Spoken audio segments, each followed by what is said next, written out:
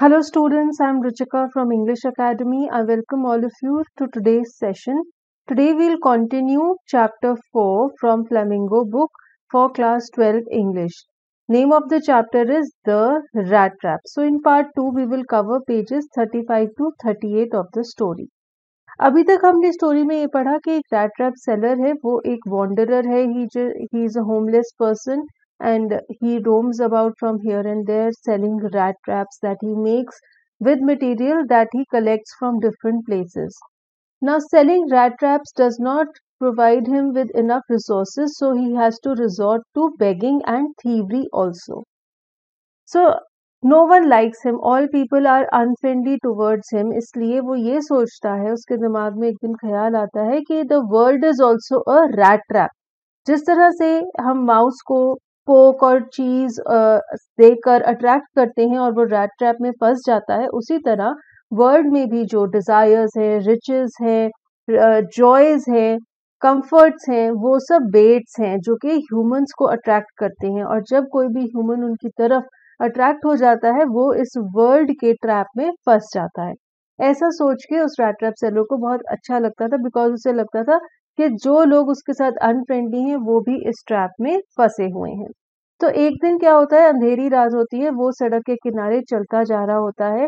तभी एक छोटा सा ग्रे कलर का कॉटेज आता है, वो उसके डोर पे नॉक करता है सीकिंग शेल्टर रूटीन में क्या होता है, जब भी वो ऐसा कभी करता है तो उसे सार फेसेस मिलते हैं अनफ्रेंडली लोग उसको मिलते हैं, जो कि उसे वहाँ से भगा देते हैं।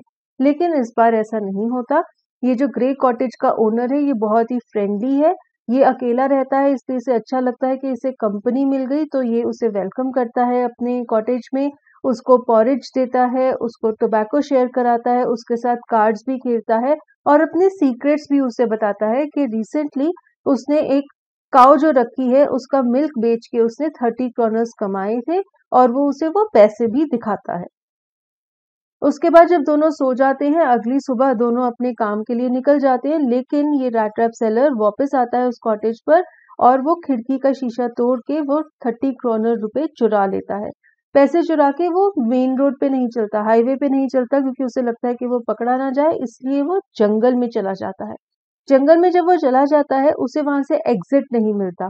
वो जंगल में गोल गोल गोल घूमता रहता है और फिर उसे एकदम से लगता है कि जो पैसों का लालच है, ये भी एक बेट था और अब वो भी एक ट्रैप में फंस गया है। अब वो ट्रैप क्या है? फॉरेस्ट का ट्रैप है। उसे ऐसे लगता है कि उसे इस फॉरेस्ट में बंद कर दिया गया है और अब वो मर जाएगा। ऐसा सोच के वो नीचे ज़मीन पर गिर जाता है।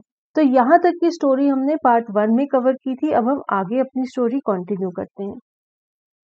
It was late in December. Darkness was already descending over the forest. This increased the danger and increased also his gloom and despair.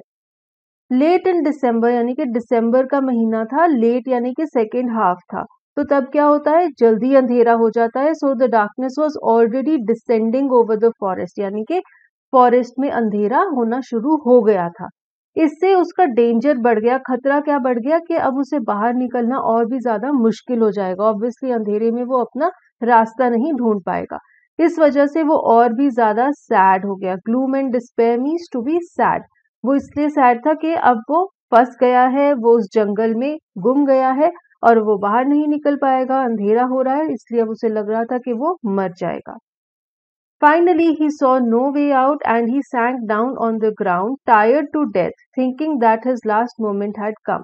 तो फाइनली जब उसे कोई रास्ता नहीं मिला तो वो नीचे ज़मीन पर गिर गया। उसे लग रहा था कि अब वो मरने वाला है उसका अंतिम समय आ गया है।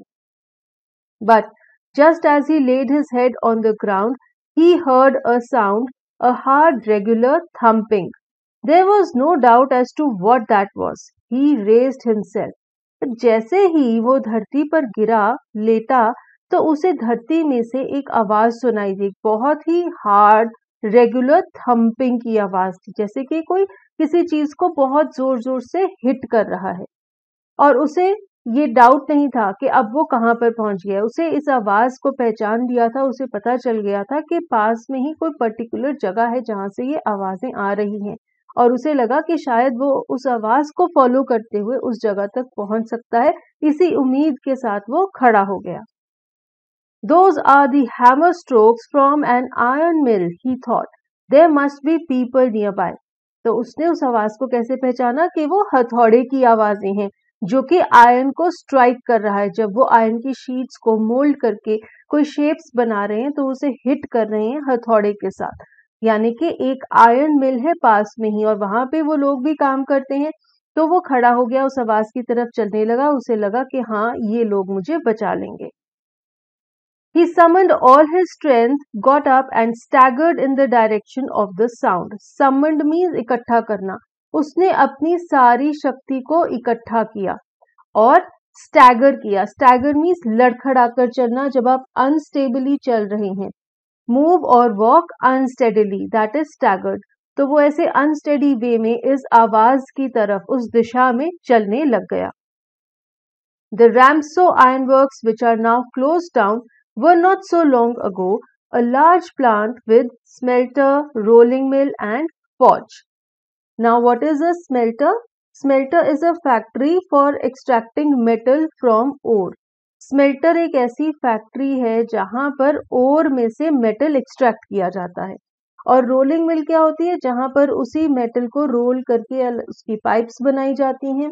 And forge is a furnace furnace जहाँ पर उस मेटल को पिघला कर उसकी अलग अलग शेप्स बनाई जाती हैं। तो ये उस आयरन मिल का नाम है रामसो आयरन वर्क्स ये मिल अब बंद हो गई है। तो राइटर कहती है कि जब वो ये स्टोरी लिख रही हैं प्रेजेंट में जब उन्होंने स्टोरी लिखी थी, तब ये आयरन मिल बंद हो चुकी थी। लेकिन पास्ट में जब ये इंसिडेंट हुआ था, तब ये आयरन मिल चलती थी वर्क करती थी। ये बहुत ही बड़ा प्लांट था। यहाँ पे एक स्मेल्टर था रोलिंग मिल थी और एक फौज भी थी।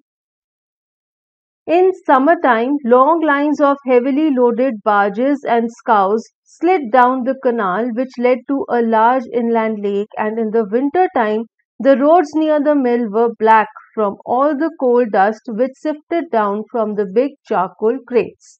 अब ये जो आयरन मिल है, उसके पास ही एक बहुत बड़ी लेक थी और वो जो लेक है, वो एक कनाल से जुड़ी हुई थी गर्मी के टाइम में जब पानी फ्लो करता था, जब वहाँ पे बर्फ़ नहीं जमती थी तो ये कनाल के थ्रू बाजेज और स्काउज में वो कोल को रख के ट्रांसपोर्ट किया करते थे। बाजेस एंड स्काउज क्या है? ये बोट्स हैं। स्पेशल बोट्स बनाई जाती हैं जो फ्लैट होती हैं। Flat boats. इनका पर्पस होता है ट्रांसपोर्टेशन का। तो इन फ्लैट बोट्स में कोल के बड़े बड़े जो फ्रेट होते थे, उसे रखकर ट्रांसपोर्ट किया जाता था। अब सर्दियों में जब ये लेक और ये कनाल का पानी जम जाता था आइस बन जाता था, तब सड़क के द्वारा ये कोल को ट्रांसपोर्ट किया जाता था। और राइटर कहती हैं कि जो सड़क है, वो बिल्कुल ब्लैक हो जाती थी, क्योंकि उस पर कोल डस्ट इकट्ठी हो जाती थी। जब वो इस बड़े बड़े क्रेट को ट्रांसपोर्ट करते थे सड़क पर तो जो कोल का डस्ट है, वो सड़क पर गिर जाता था, जिससे सड़क का कलर ब्लैक हो जाता था।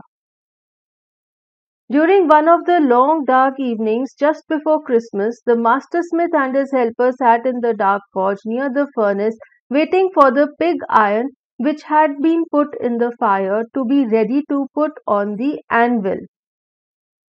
Pig iron किसे कहते हैं जो रॉ फॉर्म होता है आयन का उसे पिग आयन कहते हैं जिसे फर्दर अलग अलग शेप्स में बनाया जाता है क्रूड आयरन या रॉ आयरन को पिग आयरन कहते हैं What is anvil anvil is a heavy block of iron on which heated piece of metals are made in to a shape with a hammer ये आप देख रहे हैं?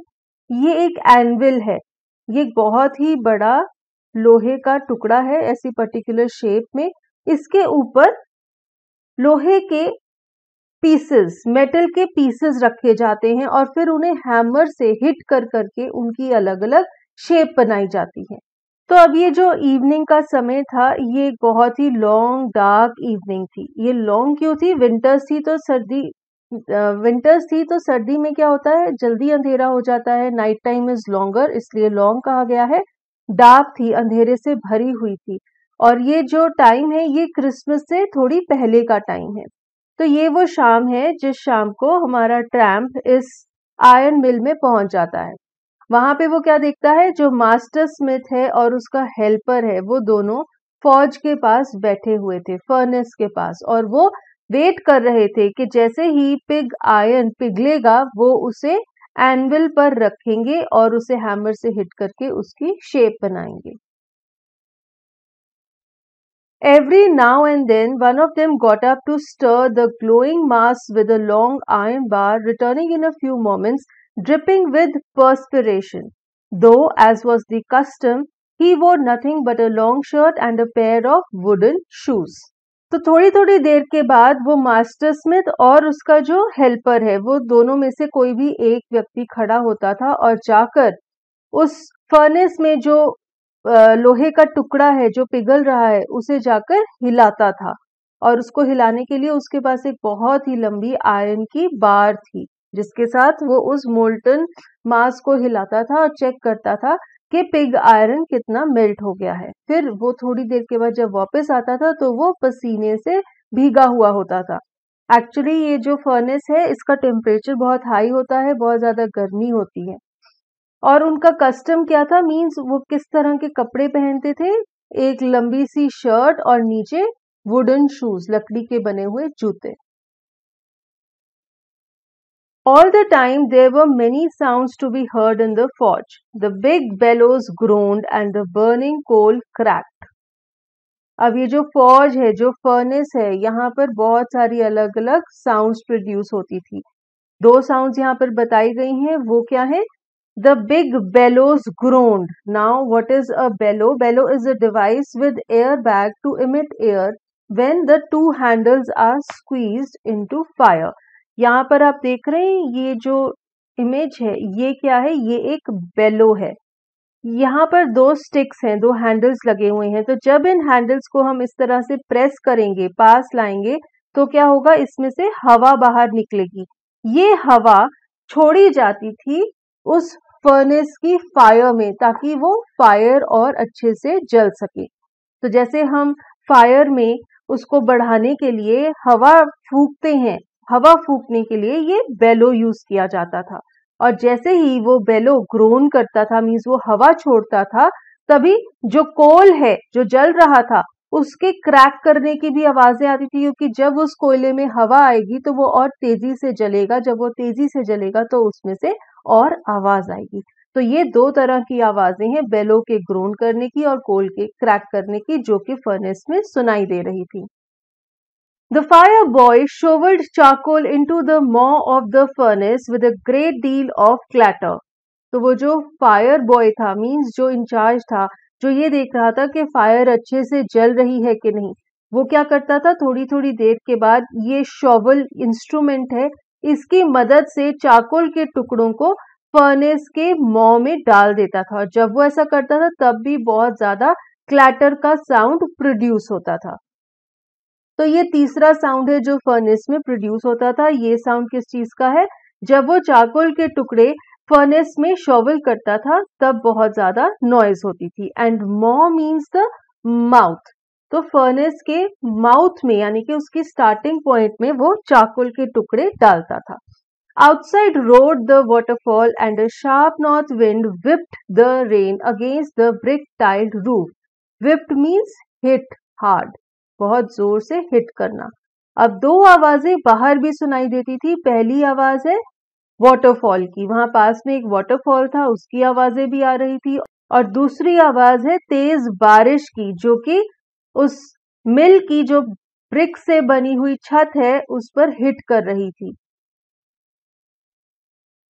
It was probably on account of all this noise that the blacksmith did not notice that a man had opened the gate and entered the forge until he stood close up to the furnace. तो अब उस furnace में उस फौज में इतनी सारी noises थी इसी वजह से ब्लैकस्मिथ को पता ही नहीं चला कि एक आदमी ने मिल का दरवाजा खोला वो अंदर आ गया और वो फर्नेस के बहुत पास आकर खड़ा हो गया लेकिन उनको पता ही नहीं चला क्योंकि वो अपने काम में भी बिज़ी थे और इतनी ज़्यादा आवाज़ें थी कि उन्हें उसके आने का पता ही नहीं चला Surely it was nothing unusual for poor vagabonds without any better shelter for the night to be attracted to the forge by the glow of light which escaped through the sooty panes and to come in to warm themselves in front of the fire. Vagabond, we all know, a homeless wanderer. Here, the rat trap seller is a vagabond. Sooty means something which is covered with soot. And what is soot?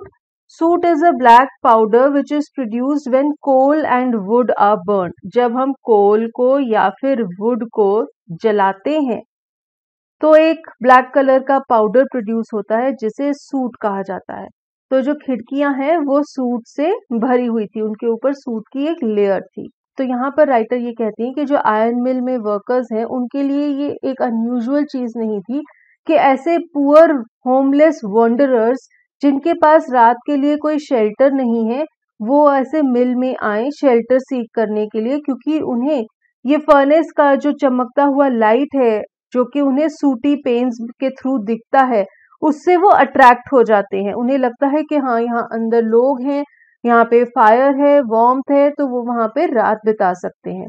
और इसी वजह से बहुत सारे ऐसे wanderers रात के समय में वहाँ आते थे शेल्टर सीक करने के लिए।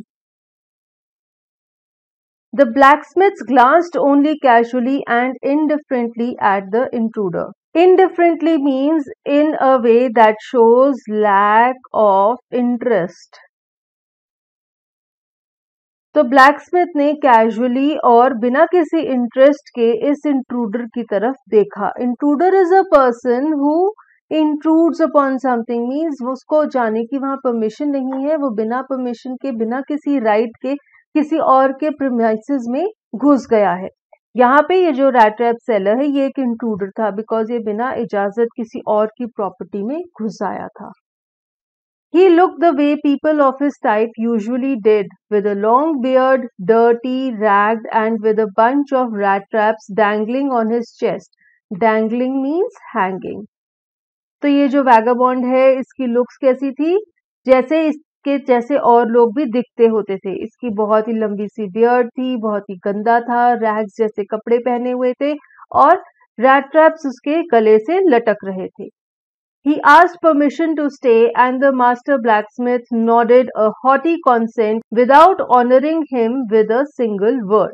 Now, what do we mean by nodded a haughty consent? Means he agreed, but he did not have any interest. उसने अपना एग्रीमेंट तो शो किया बट विदाउट एनी इंटरेस्ट वो नहीं चाहता था the intruder was not welcome over there जब intruder ने उससे इजाज़त ली ब्लैकस्मिथ से तो ब्लैकस्मिथ ने अग्रीमेंट के लिए अपना सिर हिलाया, लेकिन वो इंटरेस्टेड नहीं था, इसलिए उसने थोड़ा सा ही सिर हिलाया। और without honouring him with a single word उसने उसे कुछ भी नहीं कहा, जैसे कि yes you can sit here come ऐसा कुछ भी नहीं कहा। उसने उसको ऑनर नहीं किया। उसने उससे बात नहीं की बिकॉज़ उसने उसे ये शो किया कि वो इंटरेस्टेड नहीं है, कि वो वॉन्डरर वहाँ पर रहे। लेकिन फिर भी अगर वो वहाँ पर शेल्टर लेना चाहता है तो वो ले सकता है। The tramp did not say anything either he had not come there to talk but only to warm himself and sleep अब ट्रैम्प ने भी उस ब्लैक स्मिथ से कोई बात नहीं की, क्योंकि वो वहाँ पर बातें करने नहीं गया था। वो सिर्फ़ वहाँ पर अपने आप को वार्म फील कराने के लिए और सोने के लिए गया था। In those days, the Ramso iron mill was owned by a very prominent ironmaster whose greatest ambition was to ship out good iron to the market. Prominent means a famous person, a rich man. तो जो रामसो iron मिल का owner था वो एक बहुत ही famous और rich man था he was an iron master और उसका एक ही एम्बिशन था एक ही गोल था वो क्या था कि अच्छी क्वालिटी का आयरन बनाकर मार्केट में भेजना है He watched both night and day to see that the work was done as well as possible, and at this very moment he came into the forge on one of his nightly rounds of inspection. तो ये जो iron master है ये कभी भी अपनी iron मिल में inspection के लिए चला जाता था चेक करने के लिए कि काम अच्छे से हो रहा है या नहीं तो तभी वो भी फर्नेस में आ गया चेक करने के लिए कि वहाँ पे काम कैसे हो रहा है Naturally, the first thing he saw was the tall ragamuffin who had eased his way so close to the furnace that steam rose from his wet rags. Now, ragamuffin is a person in dirty clothes. तो सबसे पहले sign master ने क्या देखा उसने देखा कि एक बहुत ही गंदे कपड़े पहने हुए व्यक्ति है जो कि फर्नेस के बहुत पास लेटा हुआ है। ईस्ट हिज वे मीन्स उसने रास्ता निकालकर उसके पास ही एक कंफर्टेबल सी जगह ढूंढ ली है। तो वो फर्नेस के इतनी पास था कि उसके गीले रैग कपड़ों में से स्टीम निकल रही थी। वो गर्म हो रहे थे तो उनमें जो पानी था वो इवेपोरेट होकर स्टीम छोड़ रहा था। The ironmaster did not follow the example of the blacksmiths who had hardly deigned to look at the stranger. Deigned means to do something that one considers to be below one's dignity. अब ये जो black Smiths हैं उन्होंने तो stranger की तरफ़ देखा ही नहीं था क्योंकि मे बी उन्हें लग रहा था कि ये काम उनकी डिग्निटी के बिलो है कि वो एक इतने गंदे से सड़क पे घूमते हुए व्यक्ति से बात करें लेकिन आयरन मास्टर ने ऐसा नहीं किया He walked close up to him, looked him over very carefully, then tore off his slouch hat to get a better view of his face. अब आयरन मास्टर ने क्या किया? वो इस व्यक्ति के बहुत पास गया, उसे बड़े ध्यान से देखा, फिर उसकी जो हैट है, जिससे उसने अपना चेहरा ढका हुआ था, उसे पकड़कर खींच लिया, उसे उतार दिया और उसके चेहरे को ध्यान से देखा। स्लाउच मीन्स ड्रूपी उसकी हैट जो ऐसे ड्रूप करके उसके चेहरे पर आ रही थी, उसे उसने हटाकर उसके चेहरे को ध्यान से देखा। But of course it is you Nils Olof he said how you look Nils Olof क्या है? किसी का नाम है। तो ये जो आयरन मास्टर है, इसे गलती लग जाती है और इसे ये लगता है कि वो जो रैट ट्रैप सेलर है, वो उसका कोई जानने वाला है, जिसका नाम है निल्स ऑलॉफ तो वो कहता है, अरे, ये तो तुम हो। और फिर वो हैरानी जताता है कि तुम देखने में कैसे लग रहे हो।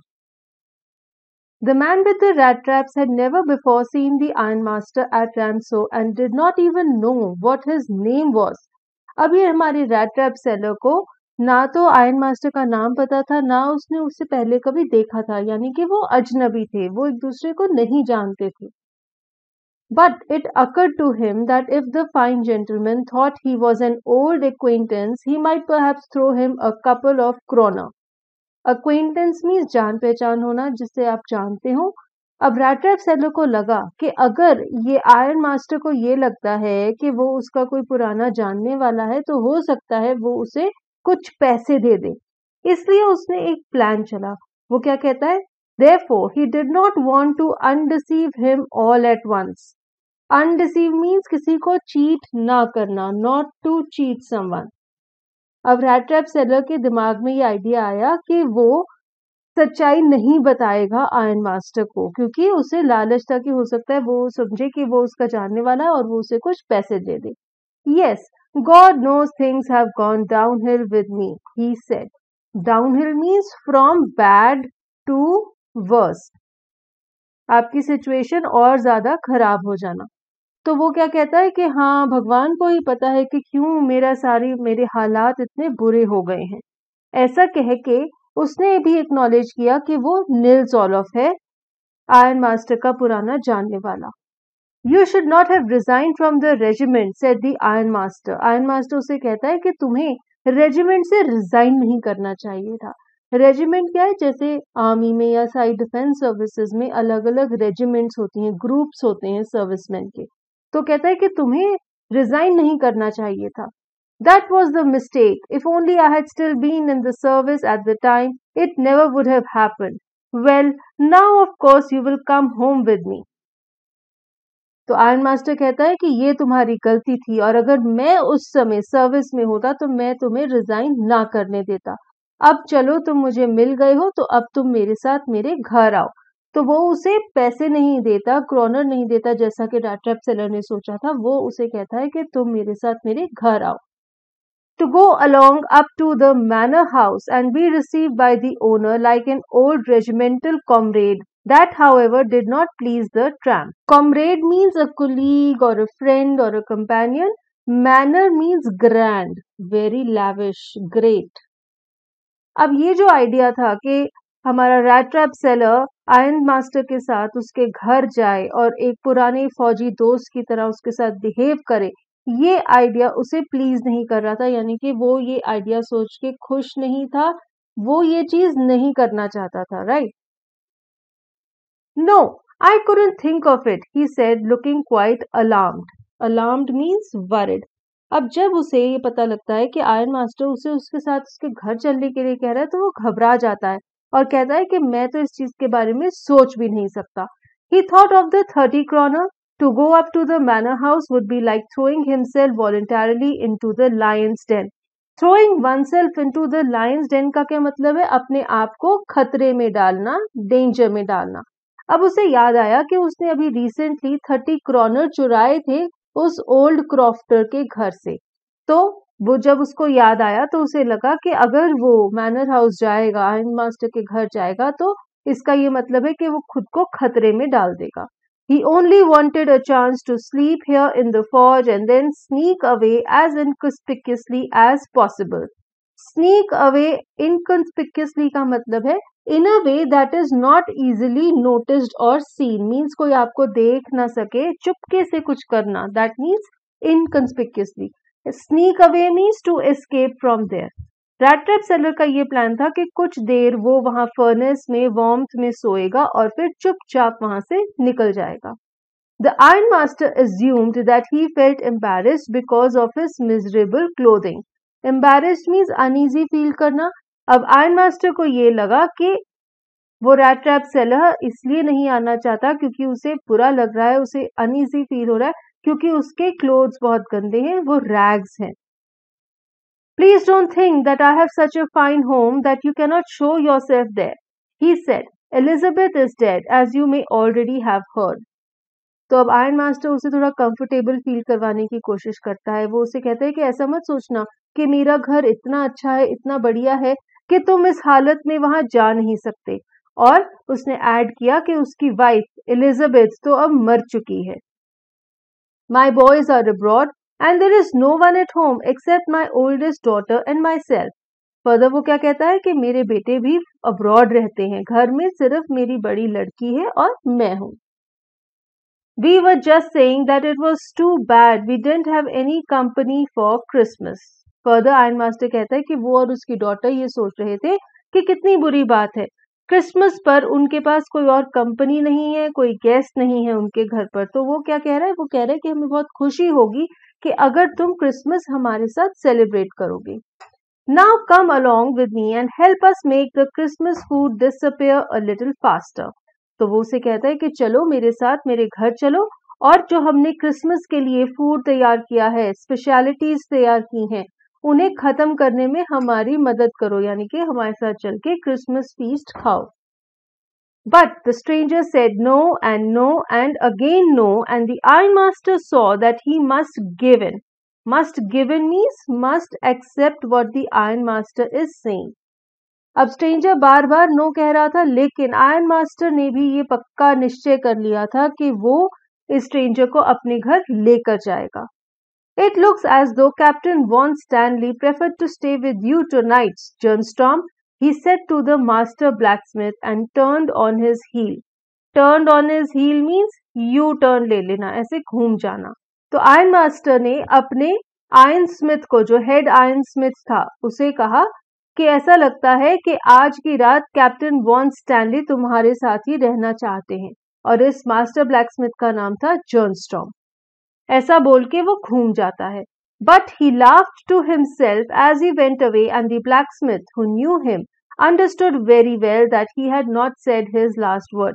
He had not said his last word means कि अभी जो उनका आपस में आर्ग्यूमेंट चल रहा था, उसमें अभी कुछ बाकी था जैसे कि आयन मास्टर आर्ग्यूमेंट जीता नहीं था तो अभी उसने अपना लास्ट जो पॉइंट है, वो प्रेजेंट नहीं किया था। अभी वो कुछ और भी करता ताकि वो इसे जीत जाए। तो जो आयन मास्टर का वे था बोलने का, जब वो अपने आप से ऐसे हंसता है और वहाँ से चला जाता है, उससे ब्लैक स्मिथ को ये पता चल जाता है कि अभी आयन मास्टर कुछ और भी करेगा, कुछ और एफर्ट भी करेगा इस स्ट्रेंजर को अपने घर ले जाने के लिए। It was not more than half an hour before they heard the sound of carriage wheels outside the forge and a new guest came in. But this time it was not the ironmaster. अभी आधा घंटा ही हुआ था कि उन्हें फिर से फौज के बाहर कैरेज व्हील्स की आवाज सुनाई दी और अब कोई और आया था वहां पर He had sent his daughter, apparently hoping that she would have better powers of persuasion than he himself. Apparently means as far as one knows. Means जितना हमें अंदाज़ा है, उसके हिसाब से जो हम कह सकते हैं। And persuasion means the power to make someone agree to one self अपनी बात मनवाना। अब आयन मास्टर ने क्या किया? उसने अपनी डॉटर को भेजा, क्योंकि उसे ऐसा लगता था कि उसमें परसुएशन की बेटर पावर्स होंगी और वो स्ट्रेंजर को मना पाएगी। She entered followed by a valet carrying on his arm a big fur coat she was not at all pretty but seemed modest and quite shy Valet is a man servant. So a male servant is a valet. Modest means humble, down to earth. तो iron master की लड़की ने फौज में entry ली उसके साथ एक servant था जिसके हाथ में एक बहुत ही बड़ा फर का कोट था ये लड़की दिखने में सुंदर नहीं थी लेकिन बहुत ही हम्बल थी और काफी शाय भी थी in the forge everything was just as it had been earlier in the evening The master blacksmith and his apprentice still sat on their bench and iron and charcoal still glowed in the furnace. Apprentice means a trainee, a helper. तो जो फौज है furnace है, वहाँ पे सब कुछ वैसा ही था जैसा पहले भी था। मास्टर ब्लैकस्मिथ और उसके ट्रेनी बेंच पर बैठे हुए थे और फर्नेस में आयरन एंड चाकुल ग्लो कर रहे थे मेल्ट कर रहे थे। Had stretched himself out on the floor and lay with a piece of pig iron under his head and his hat pulled down over his eyes. तो अभी जो stranger है, ये आराम से वहाँ पर लेटा हुआ था। उसने एक पिग आयरन का टुकड़ा अपने सिर के नीचे रखा हुआ था और उसकी हैट उसके चेहरे पर थी उसकी आँखों को ढके हुए थी और वो रेस्ट कर रहा था As soon as the young girl caught sight of him, she went up and lifted his hat. The man was evidently used to sleeping with one eye open. जैसे ही उस लड़की ने उसको देखा वो उसकी तरफ़ गई और उसकी हैट उसने उठा दी तो ये जो स्ट्रेंजर है, ये जो रैट ट्रैप सेलर है, ये एक आँख खोल कर सोता था। He jumped up abruptly and seemed to be quite frightened. Abruptly means अचानक से। अचानक से जब उसने देखा कि किसी स्ट्रेंजर ने उसकी हैट उठा दी तो वो घबरा गया और वो डरा हुआ था और उसने छलांग लगाई। My name is Edla Willmansson said the young girl तो इस लड़की ने अपने आप को इंट्रोड्यूस किया, उसने अपना नाम बताया। My father came home and said that you wanted to sleep here in the forge tonight and then I asked permission to come and bring you home to us. तो कहती है कि मेरे फादर ने मुझे ये बताया कि तुम आज रात यहीं पर सोना चाहते हो लेकिन मैंने उनसे परमिशन मांगी कि मैं आकर तुम्हें ले जाऊँ और तुम हमारे साथ हमारे घर में रहो। I am so sorry captain that you are having such a hard time तो उसे बहुत बुरा लगता है। वो कैप्टन को कहती है कि मुझे बहुत बुरा लग रहा है। कि आप इतने मुश्किल वक्त से गुजर रहे हो hard time means a difficult time She looked at him compassionately with her heavy eyes and then she noticed that the man was afraid. Compassionately means with sympathy and concern. तो एडला की आँखों में सिंपथी थी concern थी और इस तरह से जब उसने रैट रैप सेलर की तरफ़ देखा तो उसने नोटिस किया कि वो डरा हुआ है Either he has stolen something or else he has escaped from jail, she thought, and added quickly, You may be sure, Captain, that you will be allowed to leave us just as freely as you came. अब एडला ने जब उसकी तरफ़ देखा तो उसे ये लगा कि या तो इसने कुछ चोरी की है या ये जेल से भागा हुआ है उसके चेहरे के एक्सप्रेशन से एडला को ऐसा लगा। तो उसने उसे अश्योर करने के लिए ये कहा कि जिस तरह से आप यहाँ पर आए थे फ्रीली आज़ादी से, अपनी मर्ज़ी से, उसी तरह हम आपको घर से जाने भी देंगे। मीन्स उसने उसे ये दिलासा देने की कोशिश की कि ऐसा डरो मत कि कहीं हम तुम्हें बंदी बना देंगे, ऐसा नहीं है। Only please stay with us over Christmas Eve उसने कहा कि सिर्फ़ ऐसा करो कि हमारे साथ रहो और क्रिसमस ईव हमारे साथ सेलिब्रेट करो। She said this in such a friendly manner that the rat trap peddler must have felt confidence in her. तो एडला के बोलने का तरीका इतना फ्रेंडली था कि रैट ट्रैप सेलर को उसमें कॉन्फिडेंस फील हुआ और उसका डर खत्म हो गया। Would never have occurred to me that you would bother with me your self miss he said I will come at once तो कहता है कि मैंने कभी ऐसा नहीं सोचा था कि आप खुद इतनी तकलीफ़ उठाएँगी और मुझे यहाँ पर लेने के लिए आएँगी। मैं आपके साथ चलूँगा। तो रैट रैप सेलर उसके साथ उसके घर जाने को मान जाता है। He accepted the fur coat which the valet handed him with a deep bow, threw it over his rags, and followed the young lady out to the carriage without granting the astonished blacksmith so much as a glance. Astonished means surprised, shocked, हैरान होना. Glance means a look. तो rat trap seller ने fur coat ले लिया और उसे अपने फटे पुराने कपड़ों के ऊपर घेर लिया और फिर वो एडला के पीछे पीछे कैरेज में चला गया और जो ब्लैक थे जो बहुत हैरान थे कि ये रैट रैप सेलर उनके घर जा रहा है उनको उसने देखा तक नहीं।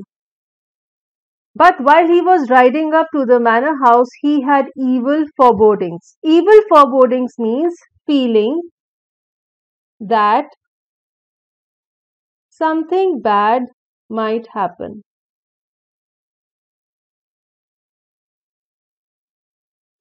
तो जब वो लोग मैनर हाउस जा रहे थे, इसको ऐसा लगता है कि कुछ बुरा होने वाला है। Why the devil did I take the fellow's money he thought now I am sitting in the trap and will never get out of it तो एक बार फिर से उसे वही ख्याल आ रहा था उसे लग रहा था कि पता नहीं क्यों मैंने उस ओल्ड क्रॉफ्टर के पैसे चुराए। अब मैं एक ट्रैप में फंस गया हूँ और मैं इस ट्रैप से कभी निकल नहीं पाऊँगा।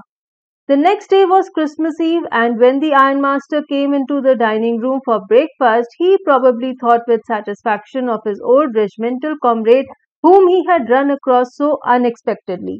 अगले दिन क्रिसमस ईव थी। क्रिसमस ईव मीन्स क्रिसमस से एक दिन पहले that is twenty fourth of December उस सुबह जब आयन मास्टर ब्रेकफास्ट के लिए डाइनिंग रूम में बैठा तो उसे बहुत अच्छा लग रहा था कि उसने अपने एक कॉमरेड की, अपने एक कंपेनियन की मदद की थी, जिसे वो अचानक से आयन मिल में मिला था।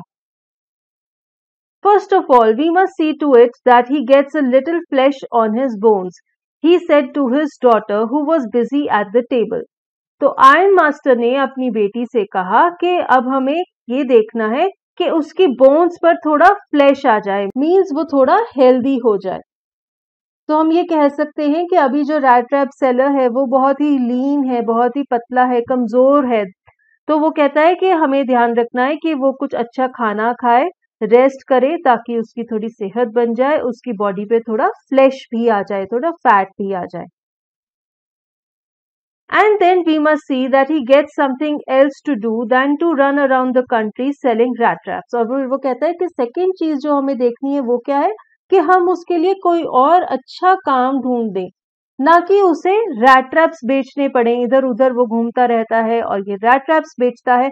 इससे बेटर वर्क हमें उसके लिए ढूंढना होगा। And with this we come to an end of second part of this lesson we'll continue the story in the next part thank you